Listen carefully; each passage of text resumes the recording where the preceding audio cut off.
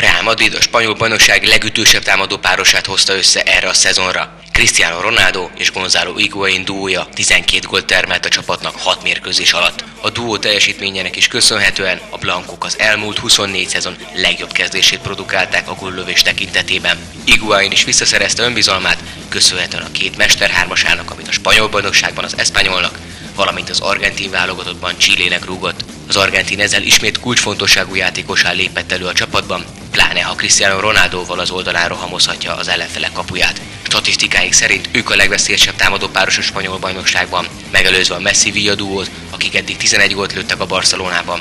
A Real Madridnak minden oka megvan az örömre, Higuain visszatért, és Ronaldoval az oldalán bármire képes.